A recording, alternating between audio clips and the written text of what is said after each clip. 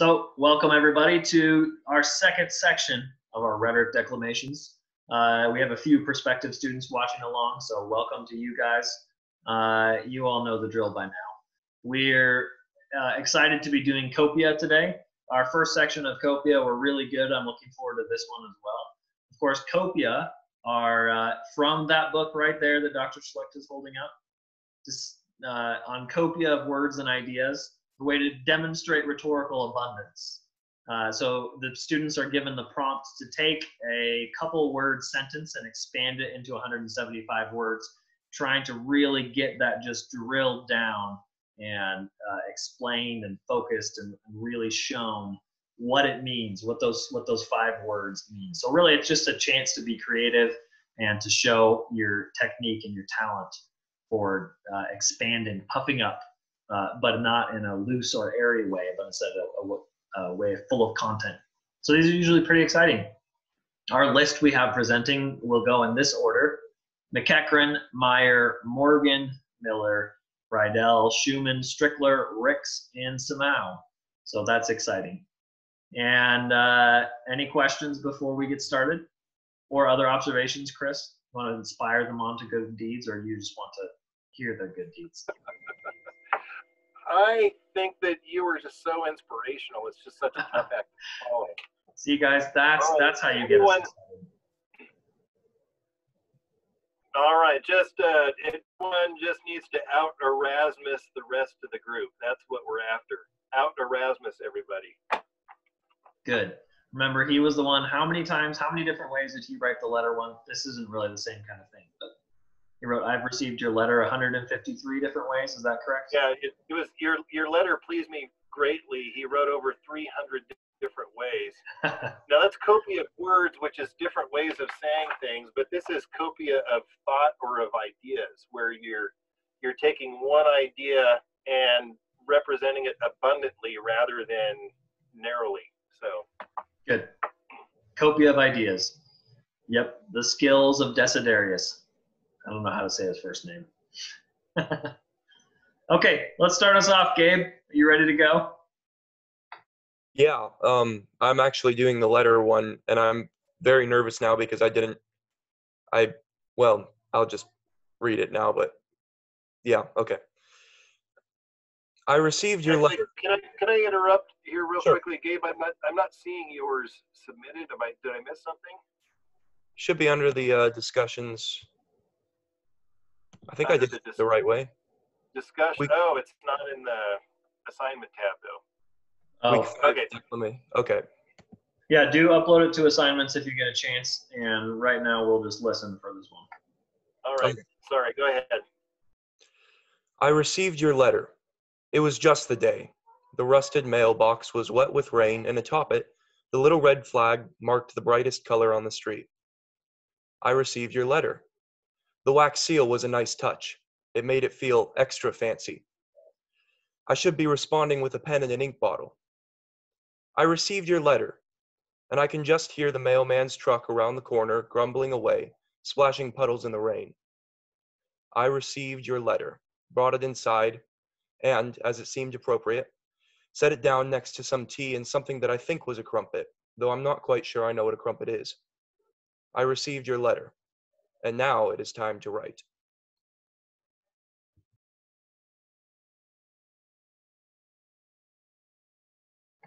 All right, good. We'll give you the digital claps. All right, Gabe, thank you. Uh, enjoyable. Now, obviously, what you use normally we pull it up on the screen, but I don't have it in front of me. And anyways, um, I can try and post it real quick on. Uh, well, that's fine. I'll just keep talking while you're while you're getting it up there. You can let me know if it does get posted. Uh, so you use the frame device of the repetition of I received your letter, which is a good move because it kind of allows you to highlight. It's almost poetic in its approach because you're trying to highlight a specific element, how what it looked like, what was in it, where you set it, you know, into the crumpets. Um, uh, but but I also wonder if your delivery could help us. It, it felt like you were reading something that you've written, which you are obviously. But as far as far as a given presentation, you might want to make this vary the delivery of I received your letter because it felt almost perfunctory the way that you, you said I received your letter. You know, kind of you know, in a sense, what does it mean to receive your letter? Like, can you put some of that into your delivery of the I received your letter? That's kind of my first approach to that. I, I like the idea of a framing device, and the repetition really helps humans get that idea across. But I need your delivery to help us know how to take each of those um, if that if that makes sense. And I'm not um, I'm not quite seeing the logic. For example, your crumpet joke. I'm not sure the crumpet joke fits, right? I mean, it's kind of funny, so I enjoy it. But it also is like, you know, setting it down in some tea and a crumpet is funny because we do that with letters. But I'm not sure the joke about like that kind of rips us out of it. The meta narrative about what a crumpet is really fits your piece. Um, those are kind of my general comments there. Right. I'm. Um, yeah, I agree uh, with what Mr. Kohl said. The uh, I do like the I received your letter repetition, um, and it's it's fraught with potential. What this seemed like, and I think, and it seemed like this especially because of the crumpet, the crumpet line, is it seemed like uh, several different scenes uh, that were just kind of put together and attached. Um, and it was stitched together in the way that like Frankenstein's monster was stitched together, uh, rather than using the I received your letter to weave together a theme so that it unfolds more and more and more. If there wasn't an unfolding theme, it was more like here's here's one moment of receiving a letter now for something completely different. Here's another moment of receiving a letter, and now for something completely different yet. You know, so um, maybe that's what Mr. Kohl was getting at with the logic. That's my way of articulating that. Yeah, good. Any thoughts, Gabe, about how is? I mean, did you have more of an organizing principle, or was it really just kind of four different pieces I mean, of receiving a letter? Yeah, I think I think it was. I wasn't at all trying to make a common like narrative or anything like that. Which I, uh, you know, I'd definitely be if I had to rewrite it, I'd be open to doing. I uh, I did try to order it somewhat logically. Like he, I he he goes out and takes it out of the mailbox. Like I tried to make them somewhat orderly, but I understand that it's not it's not very uh, connected. Yeah, there's a slight well, temporal. Oh, go go, Dr. Yeah, and I, I yeah, I, and I did follow that. There was the logic of the movement to the mailbox and coming coming in. So, and that was that was good. But then, is there a theme developing? Um, that's bigger than the is make a whole bigger than the sum of the parts, I guess. Yeah, good. I think the action really is almost free verse poetry, uh, but you didn't quite have the concentration necessary for free verse poetry to work. Um, but I did get where you were trying to go at. That's right, you and Allen Ginsberg. Receiving, yeah, you received a letter with the best of your generation. Uh, okay, let's let's jump on to Tallis Meyer before we get into any more beat poetry. That's for a different week. Uh, Tallis, you ready to go? I am ready. Closing the car door, I turn and face the beach. I've never seen such white sand before. Folding chair and book in hand, towel over one shoulder, I press forward into the shimmering light. The sun's angle is optimal for reflecting its hot rays off the sand. I am vulnerable to sunburn from above and below. I've never squinted with my entire face before. My cheekbone muscles have migrated to the bridge of my nose, flaring my nostrils and revealing my top row of teeth. A passerby would think my face was a right, white raisin with horizontal wrinkles. Yet now, in my narrow vision, I see how long this beach is. The whole length seems to be lit up with white, it's a white, simmering flame. This is not turning out to be the morning beach reading I was hoping for. Opening my book, I find myself looking into the I find myself looking into the flash of a spotlight. Blindness would be a blessing at this point, but no. There is still some iris left.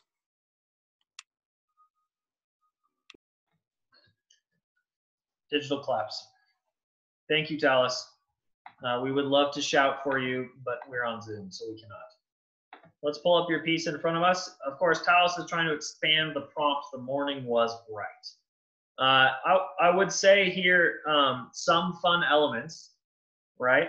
But I I think the idea of reading in the sun is a good idea because there is something painfully bright about that. You have to get to the shade. Um, but I guess uh, let me focus on a couple. I think as, a way, a couple ways of pointing out how some metaphors aren't quite fitting right at the end. Um, the length of the beach. I don't know. I don't know if the brightness is what's coming across. Yeah, no, it definitely is.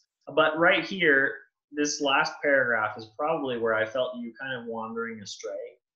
Uh, because all of a sudden we have the introduction of the book. If you're going to have reading a book and the brightness of that, I, I do think uh, you do, well, okay, you mentioned the book right here. But I think that that might be something that would be more helpful because you you need to you need to get us into opening the book and sitting down and kind of setting that up, but you almost skip over that, right? Right to that. And then you say the metaphor of looking into the flash of the spotlight. Normally we expect spotlights at night in the cold, and I just had a bit of a co- cognitive dissonance here, trying to trying to blend those two metaphors together in my mind. And then at, and then at the same thing here, this is a bit abstract from before you've been you've been kind of you've been exaggerating about how high your teeth go and what you're, you know, I've never squinted with my whole face was probably my favorite line out of this piece. But the idea of the iris and, you know, blindness and getting blinded, I wasn't quite sure how the iris played into that. Perhaps I'm just far too, you know, being far too anatomical about this, but the iris isn't what you see. It wouldn't be what you get blinded with, right? um, so yeah, yeah, I guess as far as that goes, that's, that's some sure. general comments. Yeah, I wasn't sure which part anatomy wise of the eye I should choose because none of them flowed quite right. So I was just like, I'll pick one. Oh, well, you picked the color part. You wanted retina, right? I'm pretty sure we want, you know, if you if you burn anything, you're gonna burn your retina. It's cool. what it's what everyone accused Donald Trump of burning when he looked at the sun. Good to know. Okay. All right. Um, yeah, this uh, uh, a couple of things. First, a, a small thing. You talked about uh, the sun's angle optimal for re reflecting hot rays off the sand. Um, but then this is morning, and that makes me think of another time of day than this than morning. Um, the uh, so that was a that was that was a cognitive thing. I think your delivery was rough. There's a lot of good things going on in your prose, and your delivery was rough. I would encourage you to think about um, having passages that are going to be emphatic and drawn out, then some passages that are going to be sort of like ordinary, and the ordinariness supplies kind of the baseline from which to emerge emphatic. Like, for example, you've got this this sentence, um, like three lines down, three and four lines down, I'm vulnerable to sunburn from above and below. So that's kind of this aside, right? So you don't deliver that emphatically, you deliver that matter of factly, and that matter of fact baseline will help you um, come out of that to be emphatic. Um, Good. Yeah, I think that also may have helped with some of the metaphors I'm complaining with.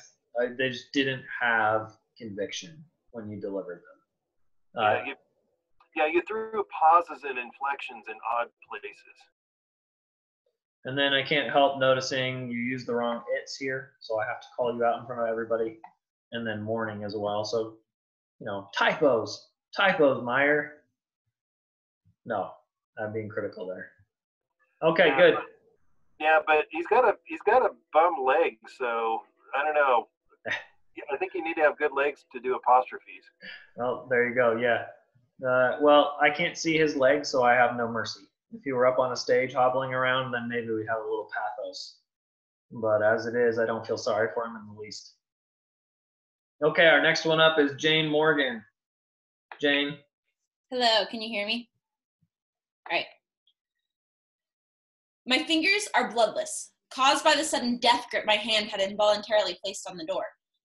My foot shoots out, each toe vainly in search of the brake which inhabits the other side of the car. Adrenaline shunts blood into my limbs, preparing them for action, but alas, My body, restrained by the seatbelt, has nowhere to go. Every muscle tense for impact. A yelp manages to squeeze out between my teeth. Katie, Katie, Katie! A sudden jolt jerks my torso forward and then snaps it back into the leather cushion. I slowly exhale and try to pry my fingers off the door handle one by one. I lower the arm which had flung itself up to shield my face and sheepishly look over at my sister. She glowers at me for the sudden eruption of panic. But my reaction was not entirely unjustified. We are so close to the car in front of us that I can't even see the license plate. Our car had been going too fast. Thank you.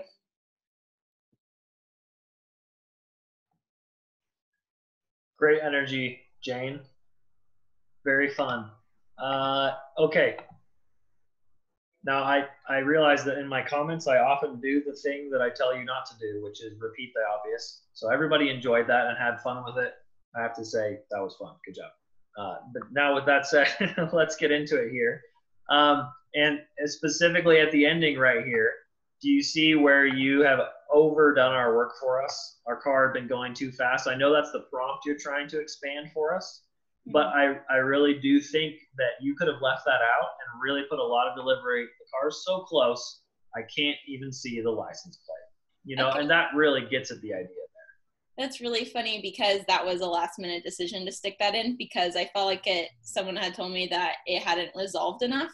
And so rather than working on just making my tone more resolved, Well, uh, I'm, I'm willing to I'm willing to be disagreed with if you think that's a better way to do it. But yeah, I don't know. Well, Chris, do you want to do you want to settle our debate here? Oh, sorry, muted. me. I was fine with it. Um, I guess I could go. I could go either way. I, um, the car had been going too fast. It kind of it, it has kind of an orienting and focusing quality to it uh, that I don't mind. But what if she had been able to tie it to Katie? I think if she'd been able to tie this part back to Katie and with the license plate, you know, I looked at Katie or Blair, I don't know, Blair, I don't know. There might be a way to do that. I think that could include with the same amount without having to get quite so general. But at the same time, let's let's skip on from that because it's not that big of a comment. Uh, overall, I thought your delivery really made this fun. The one thing is, I'd say you already you always tend to go fast, and you started about 60 miles an hour in this piece, and then managed to even get up to 80 miles an hour with the Katie Katie Katie part, which was fantastic. So I was worried that you were going so fast that you wouldn't be able to differentiate and make us go even faster because we're afraid we're going to wreck, but you managed it somehow. But I would say if you can start a little slower and ease into it, you know, my fingers are bloodless, caused by the sudden death grip my hand had involuntarily placed on the door. You know, you know those kind of those kind of things. If you slow down and then get going faster, then you kind of ramp up. That's what Dr. Schlect says about establishing a base level. Um, you know, there's things to be said about involuntarily and sudden. I don't think those strengthen your sentence. You know, my vainly also in the next sentence while you're at it. Good, thank you. Yeah. So those those are trying to help you do something that you don't need help doing. They're adverbs that are weakening your prose. You already have great verbs here in life. My fingers are bloodless. My hands involuntarily gripped the door. You know, I mean, I can see involuntarily, but I would like it if you could just leave it out. My Hands, you know, shot out and grab the door. That idea, you could do that in a different way. Oh, you already shoot out with your foot. But each toe vainly in search for the brake, which inhabits the other side of the car. I think if you it's if you punchy sentence this down and cut out those adverbs, you really tighten this up. So as far as composition goes, you you know you delivered it really well, but I think you could get even tighter. Yeah. Um, Mr. Kohl's last comment was, was what I was going to lead with too, and I I really want to reinforce my agreement with him that you really delivered this nicely. It was it was great, and I think the delivery actually uh, covered up some of the things that that presented unnecessarily unnecessary challenges, and and it is those those adverbs. Um, let me point out something else that those adverbs do. Um, now, you made the decision, and this is a good decision. Um, there are other ways of approaching it. You made the decision to uh, narrate the experience as the experience is being experienced, if that makes sense. Like, so this is unfolding, and you're talking about your your feelings and sensations as it's happening. Okay, which is a great decision. Um, but when you so that that calls for a certain rigorous adherence to a point of view in order to execute it and when you start describing things as sudden and involuntary, those are sort of third person descriptions rather than what somebody feels as they're going through it in the moment. Um, now, uh, having said that, um, when we get to the very end, um, the last, I guess, three three sentences, and say, "But my reaction was not, not in, was not entirely unjustified. First of all, the double negative is really hard to calculate. You should avoid double negatives if you can. Um, it's also kind of an assessment, and I really like that. We've just lived through this scene, and now this line moves us into kind of analysis and and sort of coming to rest, which I think is good. Um, but then you lurch back into we're so uh, I don't know. Uh, we're back to re-experiencing and analyzing. I would encourage you to have a complete shift to analyzing now. Um, so anyway, hopefully that made sense. Yeah. Any thoughts or questions, Jane? I think what Dr. and everybody else, what Dr. Schlect is saying about the difference between experiencing and telling about it is really key to how you decide to tell a story. So do do ask if you've got questions on those things. I think I'm good, but thank you. Good. All right. Next up, we've got Nate Miller. All right. The rain splattering into our car headlights reminded me of Lightspeed. My eyes itched when I blinked. The seatbelt bit into my collarbone. I looked up at Dad. We weren't home yet. Why were we stopping? He whispered something. A bad word. No, maybe a prayer. I, I scooted up to see over the dashboard.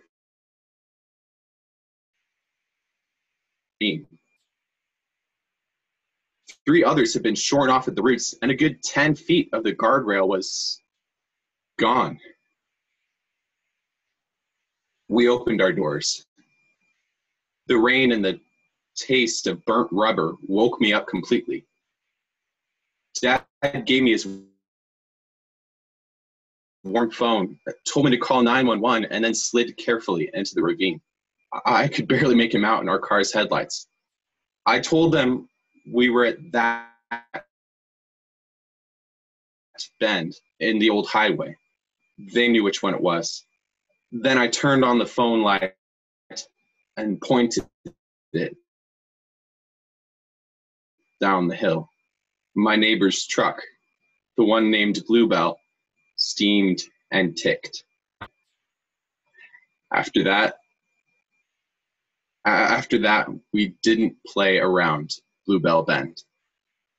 Thank you. Okay, Nate claps, virtual claps. Uh, I had some uh, lag issues with with listening to you. Um, that's all right. Uh, I it's it's just a reminder that we are not yet in the post millennial future where everything works perfectly. Uh, so uh, yeah, the cursed the cursed internet. Like your dad, we are whispering words under our breath. Um, cuss it. oh, cuss it. curse. Different, both the same. Uh, yeah. Okay. So I, I thought your delivery was very strong, Nate. I uh, I like seeing you go with a different direction of delivery. So you went with a sad, you know, painful one with breaks in the voice and a lot, very slow pace and a lot of breaking, and that's not as easy to do. So I thought you took my challenge to heart about trying different styles of delivery, and I think the sad one, for the most part, worked.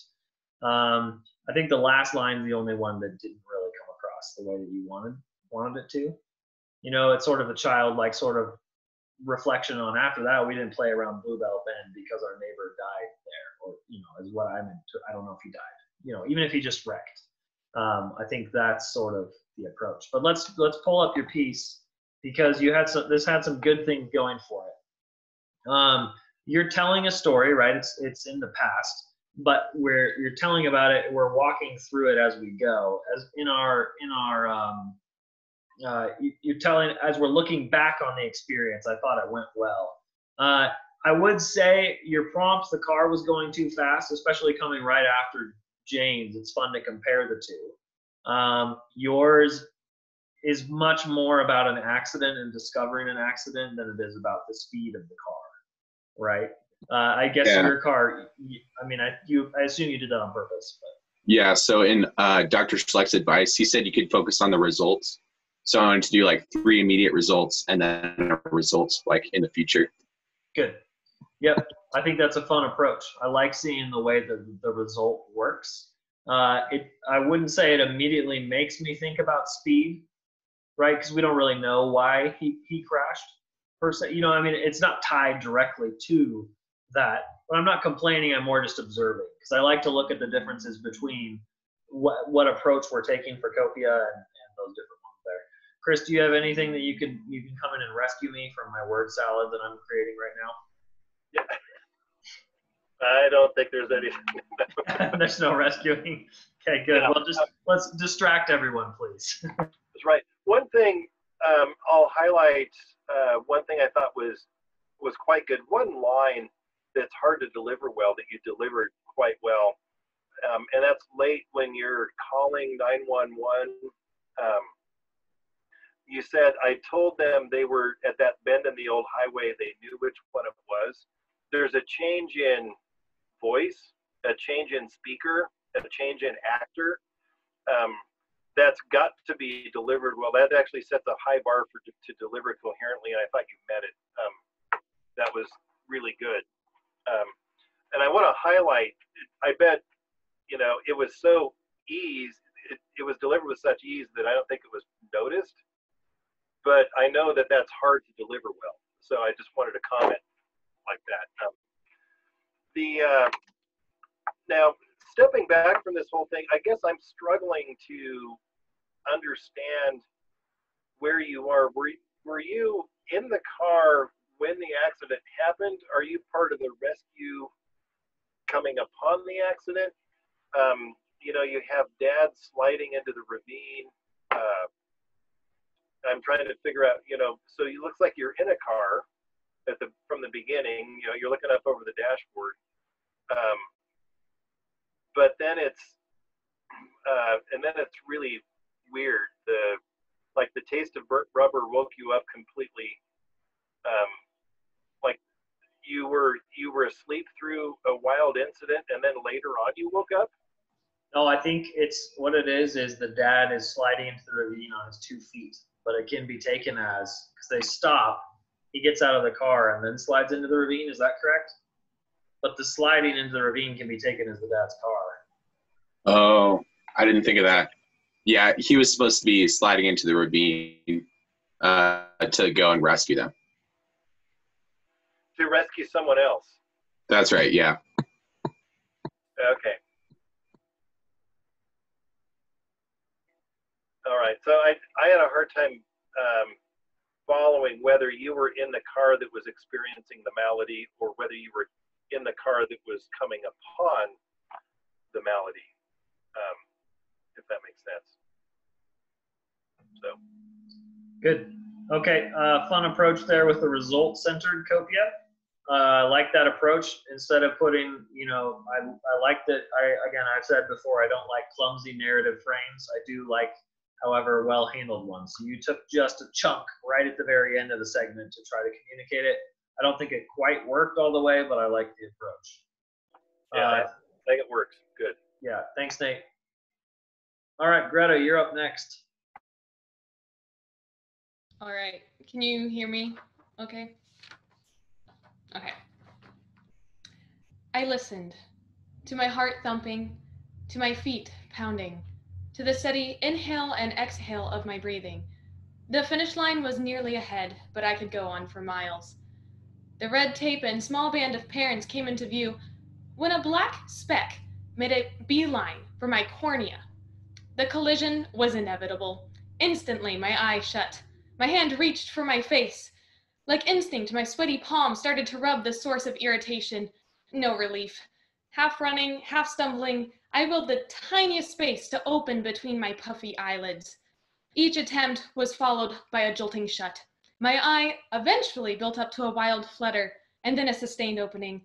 The dam that once held back salty tears gave way, and I fumbled over the red tape. I finished.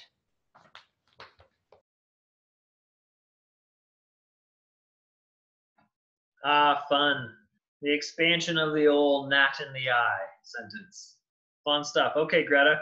So um, let's look at this right here. Uh, Tallis, you'll take notes that Greta knows the right word for the part of the eye that the gnat was flying into. Um, no, just giving you a hard time. Uh, yeah, okay, so Greta, I think you should move this to the present tense because you really want us to feel it with you, and I don't think you're doing enough re- or remove narration to, to, to justify the distance created by the past tense or uh, uh, something set in the past. So I think you go much closer. I listen to my heart thumping, my feet pounding, the steady inhale and exhale by breathing.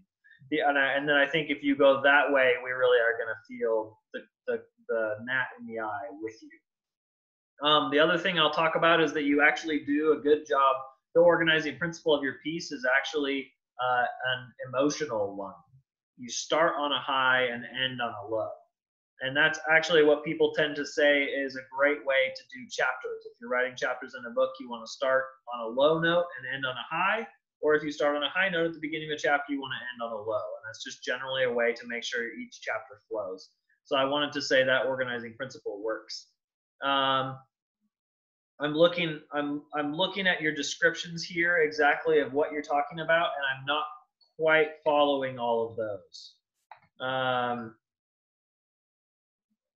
I willed the tiniest space to open between my puffy eyelid.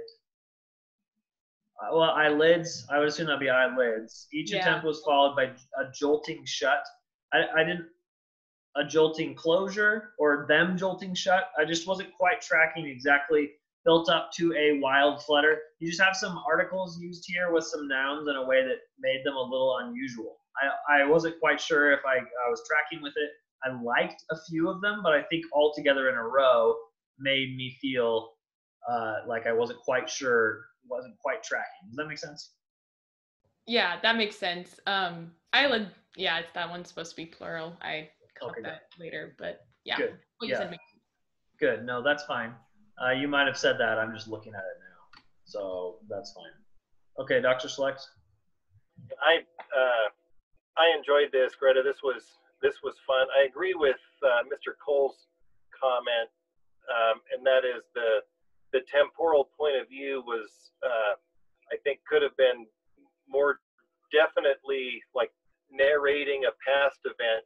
And of course, sometimes when you when you experience something, um, and then you're telling about it again, oftentimes you re-experience. Um, and uh, but the uh, a lot of the past tense in the first paragraph uh, actually I listened it kind of sets us up it's past tense but then it's this present action.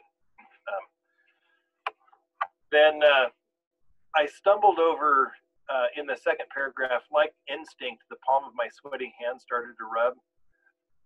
That was strange because it seems like you're setting up a simile like instinct. But maybe it was instinct. And uh and and i'll just uh i wonder if uh like mr Kohl has scratched it out which uh was probably how the eye was feeling at this time um but i think if you just remove it it's much much better um so anyway there we go uh but I enjoyed it. It was a it was a fun piece. I I felt uh, I felt my eyes itching. So Good. Thank you, Greta. On to the next one. Oh, uh, yeah, on the next one. Ella, that's your turn. Okay. Can everybody hear me? Can you guys hear me? Oh, that was a thumb up. Okay. She stared in the mirror, sighed, and refocused on pretty much her sole task for this beautiful lockdown day doing her hair. As the hashtag got dressed anyway became popular and people's laziness was highlighted by messy buns, Jill was working hard to recover a true Renaissance beauty. Two weeks of untouched hair crowded in millions of tangles around her skull. She ripped a brush through it for 30 minutes, rested her arms for 10, continued brushing for another 15, and stared at her now poofy reflection. Accomplishment! She flipped through Pinterest, Renaissance hairstyles for the next hour before looking at the clock. She realized it was past 11 and gave up. She braided her hair. Okay, fun stuff. Uh, okay, so jumping into expanding something that's a specific sort of daily action dependent uh, and trying to expand that into a full piece. You made this sort of as the compromise. So we entered expecting an exciting Renaissance hairstyle, and then we ended with just the regular old braid, not even a French braid, despite the Renaissance. Um, so I thought I thought I thought that's kind of a fun approach, taking a bit of a sketch. So this one here would be sketching a, a character and attempting to make the braiding the focal point of this character. Um, and I thought the hair treatment was handled well. I thought the the 30, 10, 15 was was a fun numerical addition here. Um, I almost wanted you to tell me more about Pinterest Renaissance hairstyles. Uh, I was not aware of such a thing, but that may be because of, well, who I am. um, but uh, you know, I I don't know if that would have drawn away from the point of braiding, but I do I do wonder.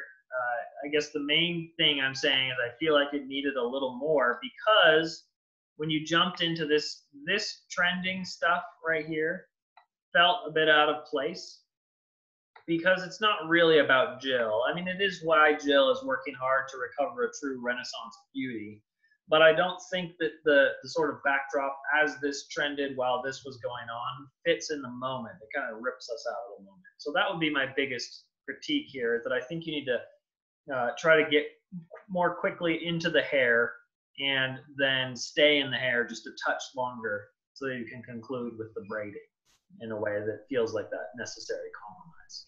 Yeah, um, yeah, and I think I might. Uh, I'm reacting to the same thing Mr. Kohl's reacting to, but I might uh, resolve it a little bit differently. I like the got dressed anyway stuff. The the problem I think was um, that it's kind of an aside and it's an explanatory note. And so it should have been delivered as an aside and explanatory note. Um, so the problem was that you you have a your delivery was there in the moment of staring in the mirror sight and so forth.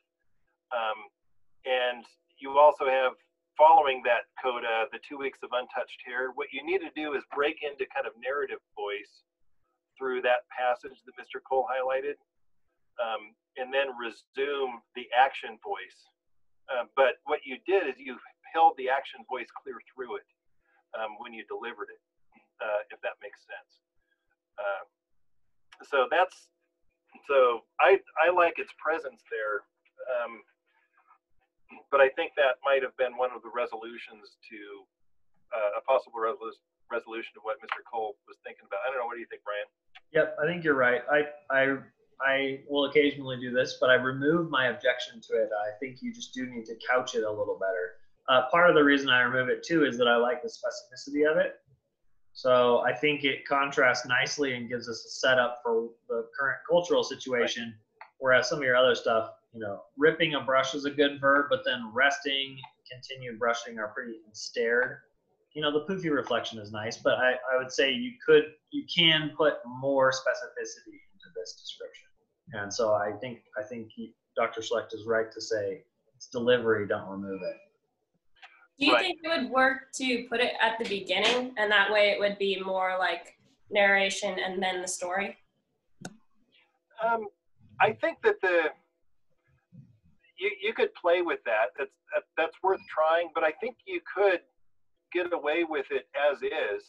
It just then creates the onus on yourself. You might remember previously when I was talking to Nate um, about how Nate related a phone call and delivered the voices well. It's hard to do, but I also think I, I think that you are good and quite a capable deliverer. So I think that you're up to it. Um, I think that this is, I think that execution is really hard to kind of change mood right here, but I think you can do it. Thank you. Uh, uh, Ella, any comments before we move on? What's the what's the best Renaissance hairstyle? Now I'm really curious. I feel like it's just a general um, category, like those ones you see that anything from like a bun that's like two feet tall to like Uh, braids in every other piece of hair type thing. okay, nice. Lots of braids or two foot tall buns. I Got can tell you. Thank you for helping me now out. everyone- everyone's racing to Pinterest now to check out Renaissance it's truly impressive. I'll get to two feet soon, sooner or later. Uh, okay.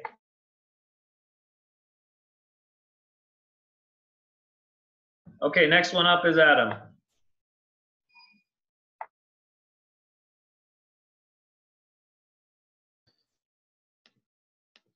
There we go. All right. Can you hear me? Right. It was quiet. Quiet enough that the lights burned your eyes. Quiet enough to feel the heaviness of every breath from every player on the field. How long have you been standing here before this pentagonal monster that dangles victory just out of reach? Three balls, two strikes. You fought nine innings to stand here. Two outs. There's not going to be another chance. Bases loaded. This is it. 60 feet out, the pitcher begins his motion. But as his leg lifts, you notice a glint in his eye, a glint of doubt. Immediately, confidence overtakes any fear you may have had, and that devilish half smile creeps across your face. What was once doubt blossoms into fear as the sight of your condescending smirk sends chills through his bones. Everything slows down. Ball is 30 feet away and closing. The unsettled pitcher had missed his target, and now it was streaming right down the middle. The sound of leather ricocheting off metal breaks your smirk into a toothy grin. That one's out of here. Thank you.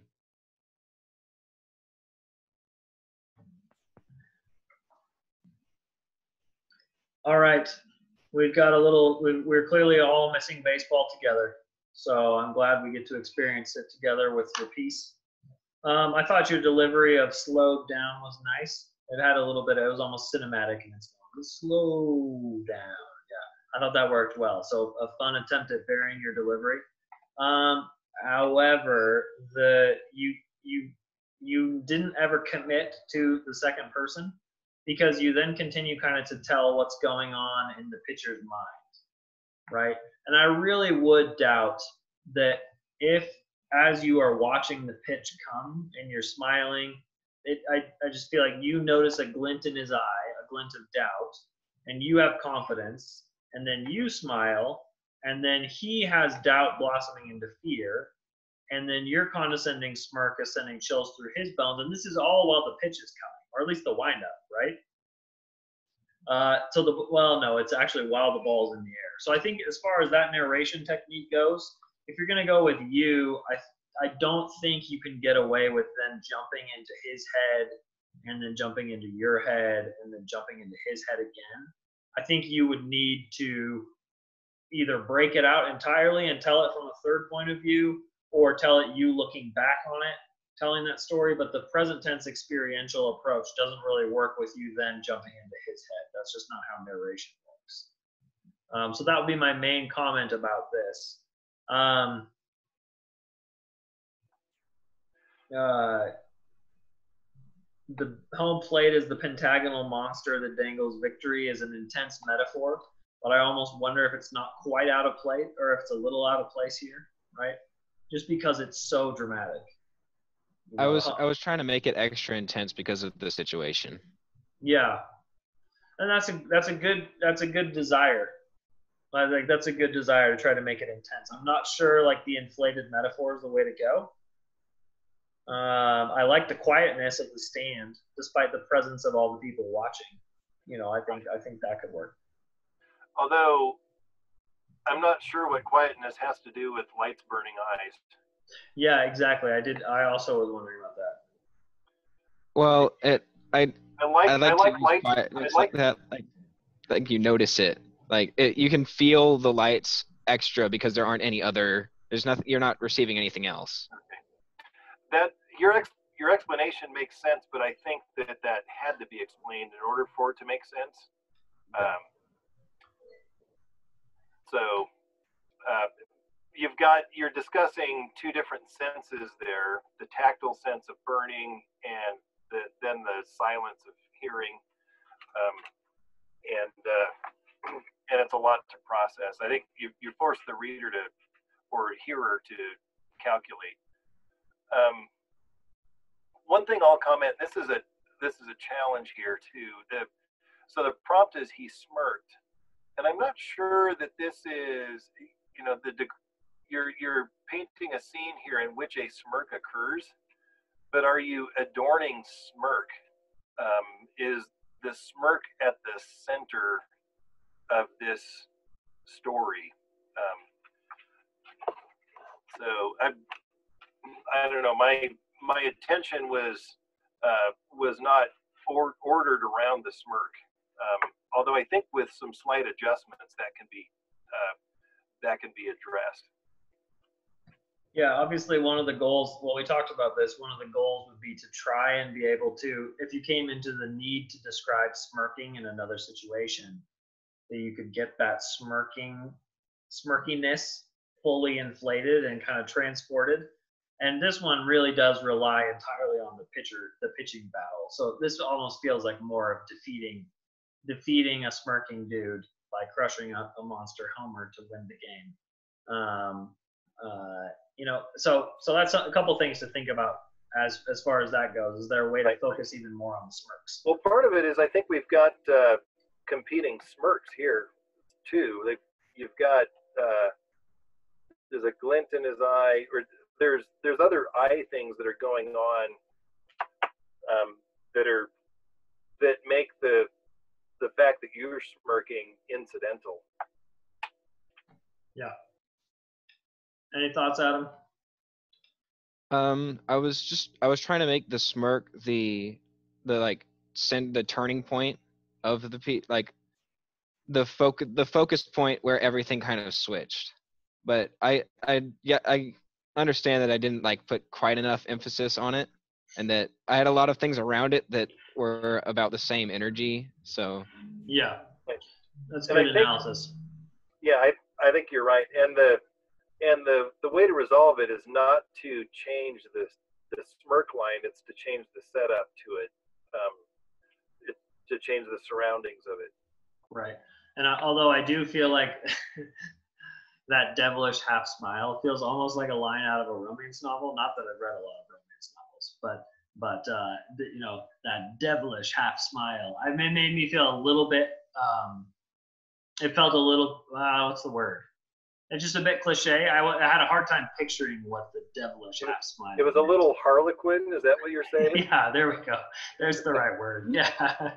um, it felt a bit dramatic, and especially because it was saying you, you know, that devilish half smile that creeps across your face. I was like, I can't recall giving devilish half smiles particularly often while playing baseball, but it's possible. maybe Adam is a devilish half smiler.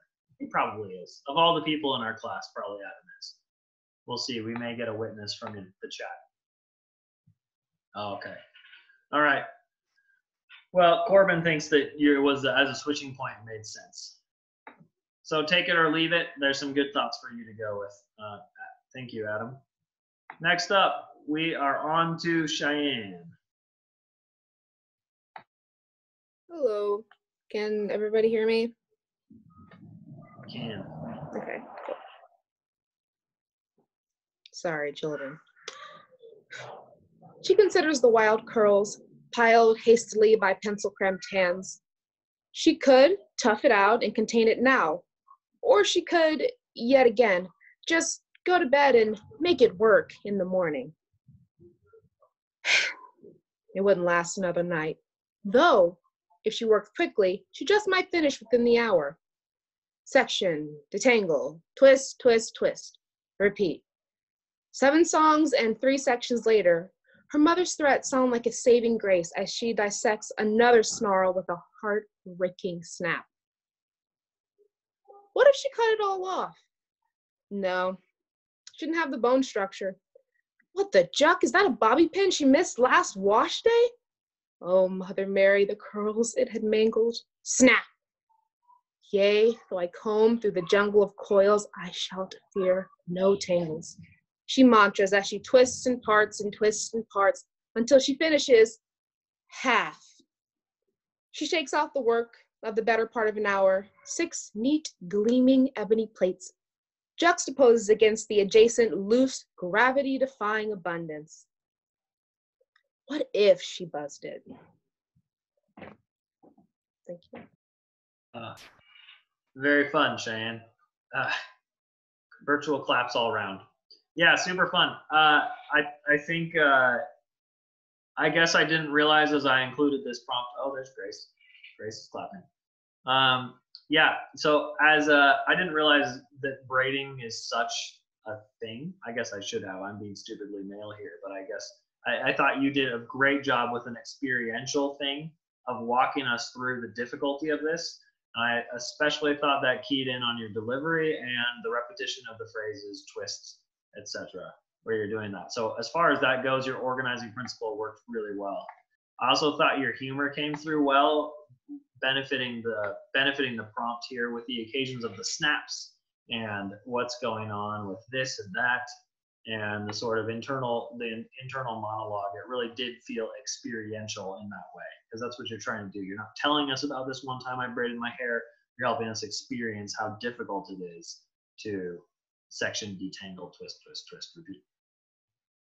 Yeah, so I like that. Great work.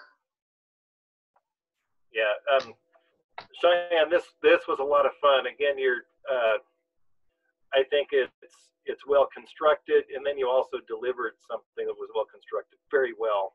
Um, the uh, I like the again section detangle twist twist twist. Um, I I am the father of daughters, and it was interesting. I remember sometimes the task would fall to me when the girls were little, um, and then that that would never last long. It would be Brenda's job. um, but uh, anyway, I I love the shout out to Psalm 23. Um, that was so. Uh, it was. It wasn't um, too overt. It was subtle enough yet clear. Um, so that was, was very good. Um, and then uh, your delivery, just what you delivered a number of things well, but one that I'll highlight is so just following the Psalm 23, you say half. She shakes out the work of the better part of an hour, and then you say six neat gleaming ebony plates. Um, and then when you say juxtaposes, this the six neat gleaming ebony plates um, was delivered in one way, and then you've got juxtaposes and then the adjacent loose gravity defying abundance. Um, you deliver that contrast with your voice remarkably well, and that's just one example of a number of things that were uh, that were really good. So, anyway, nicely done. Any thoughts, Cheyenne, or questions or observations? we're pretty open at this point of the declamation. I mean, I tried to make it since I knew that I was delivering to you and Dr. Schlect that there were so many things dividing this experience from you guys. So I just tried to make it as relatable as possible. Um, so does it, I mean, I was thinking about my, the organizing of my actual piece. So if you're trying, because I know we don't always have to rely on delivery. So do you recommend that we try to like I guess put how we tried to deliver it in the actual piece? So like with the italics and then the snap in the middle of it, or does it really matter? That doesn't matter. I at this point I think you can include what you want. I don't want you the italics are nice, you know, this this that's that's fine. I wouldn't want you to include stuff like crescendo or like get quiet here or pause you know but but as far as this concerns whatever makes it easiest for you to deliver. Yeah. Right. Yep. good. one, oh, oh go for it. No i'll just say i, I gave you i got to give one one comment. You have um, the, the very opening sentence she considers the wild curls piled hastily by pencil cramped hands. There's a lot going in that sentence and i, I would just take out hastily. Um, or pencil cramped or something. Like there's wild curls hastily uh, too many images there. Um, yeah. so i mean center that sentence. I think we uh, if you guys are aware there's the hemingway counter online. You can put any of your prose into not that we want to write like hemingway but you can put any of your prose into the hemingway counter and it will tell you how many adverbs you have and that you should remove them. And so, so that's the general approach right there I did think it that I will comment that first sentence, especially as an entry into this, was something that did take some unraveling. Um, I was thinking in my head back to that line. Wait, what was that? Um, but yeah, otherwise, good stuff. Okay, last but not least, Sydney Samau. You guys hear me okay? okay.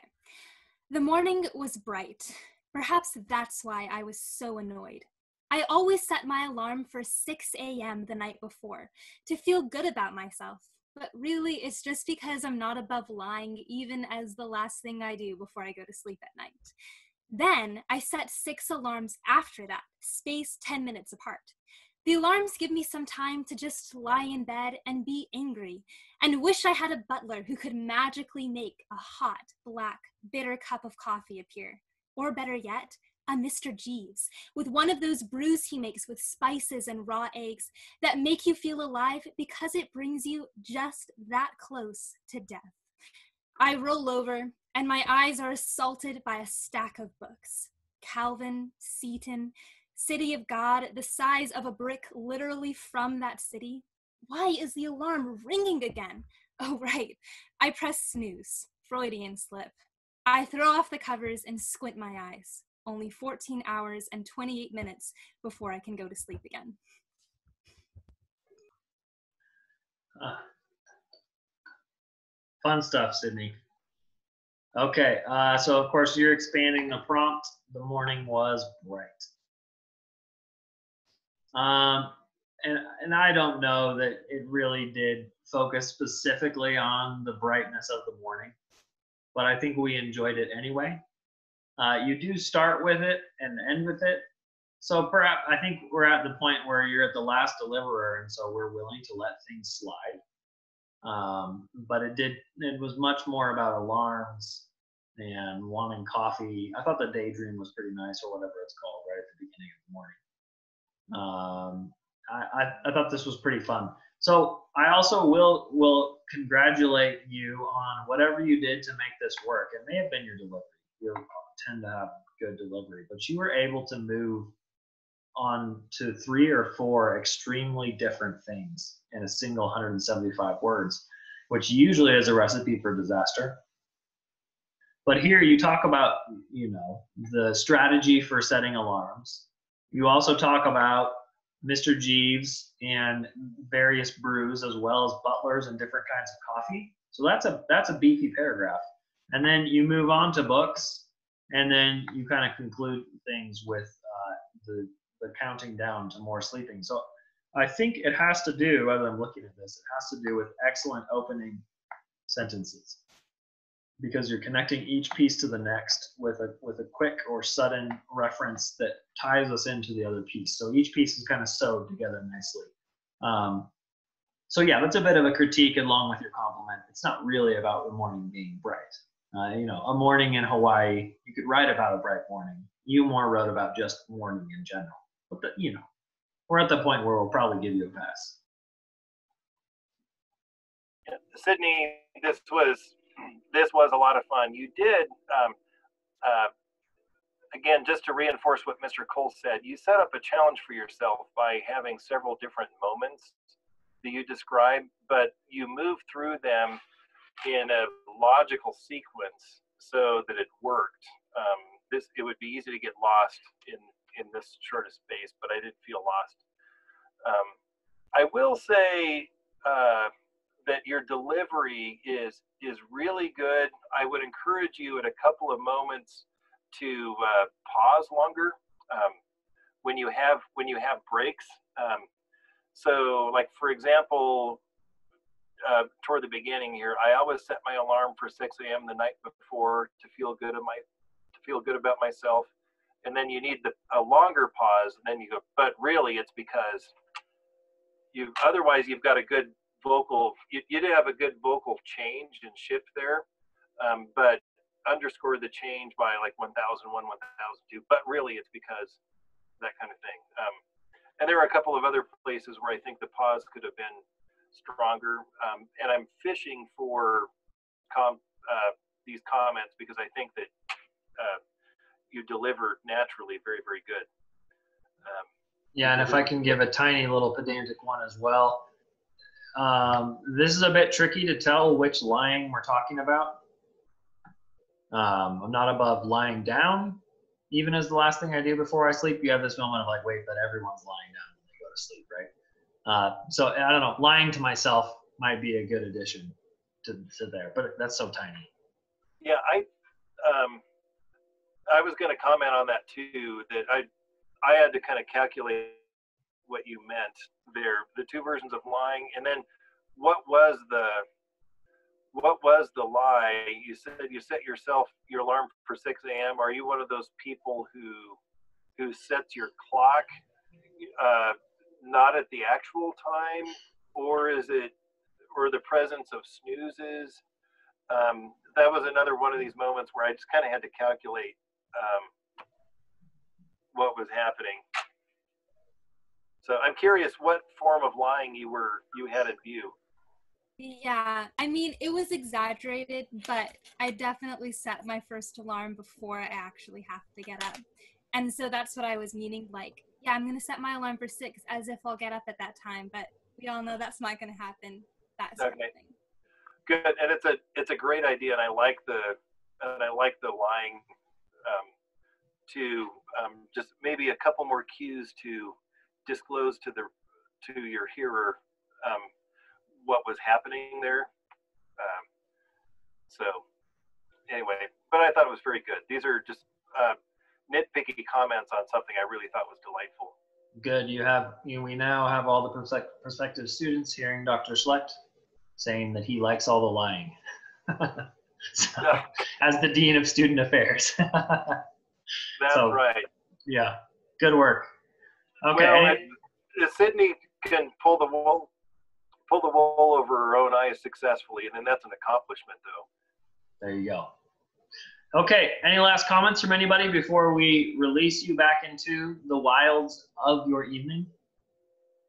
Dinner time, I suppose, or perhaps later for some of you East Coasters. No, I think everyone's done. Okay, guys. Thank you, prospective students, for attending. Great work you Group B folks. A lot of fun seeing those, and I love to see what you guys are coming up with. So uh, I'll see you next week for your papers. Thank you. Thank you.